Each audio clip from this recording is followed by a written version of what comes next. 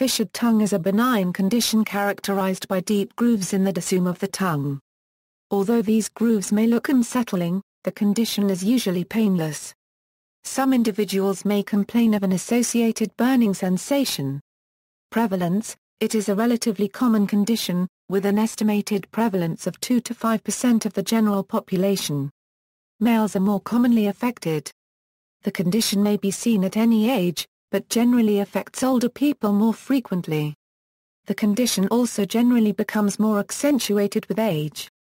Clinical features The clinical appearance is considerably varied in both the orientation, number, depth and length of the fissure pattern. There are usually multiple grooves furrows 2 to 6 mm in depth present.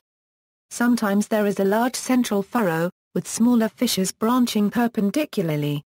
Other patterns may show a mostly dorsolateral position of the fissures.